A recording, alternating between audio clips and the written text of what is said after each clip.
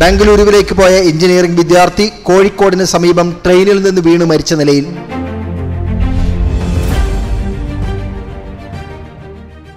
ഏറ്റുമാനൂർ വടക്കേ തകടിയിൽ നോയൽ ജോബിയാണ് മരിച്ചത്. പാലാ രൂപതയിലെ Choondacherry Saint Joseph college of എഞ്ചിനീയറിംഗിലെ വിദ്യാർത്ഥിയായിരുന്നു നോയൽ ജോബി. ഇൻഡസ്ട്രിയൽ വിസിറ്റിനായി കഴിഞ്ഞ ദിവസം ബാംഗ്ലൂരുവിലേക്ക് പോയതായിരുന്നു. മംഗലാപുരത്ത് നിന്ന് തിരികെ വരുന്ന വഴി കോഴിക്കോട് ഭാഗത്ത് വെച്ച് ടോയ്ലറ്റിൽ പോയ സമയത്തോ മറ്റോ ട്രെയിനിൽ നിന്ന് വീണു എന്നതാണ് സംശയം. കൂടെ ഉണ്ടായിരുന്നവർ എറണാകുളത്ത് എത്തിയപ്പോൾ കോഴിക്കോട് നിന്ന് പോലീസ് വിളിച്ചപ്പോഴാണ് വിവരമറിയുന്നത് ഇക്കഴിഞ്ഞ ഇരുപത്തിമൂന്നിനാണ് നോയൽ ബാംഗ്ലൂരുവിലേക്ക് പുറപ്പെട്ടത്. നോയൽ ജോബിയുടെ മൃതസംസ്കാര ശുശ്രൂഷകൾ നാളെ വൈകുന്നേരം മൂന്ന് മണിക്ക് സ്വഭവനത്തിൽ ആരംഭിച്ച് ഏറ്റുമാനൂർ ക്രിസ്തുരാജ സെമിത്തേരിയിൽ നടക്കും.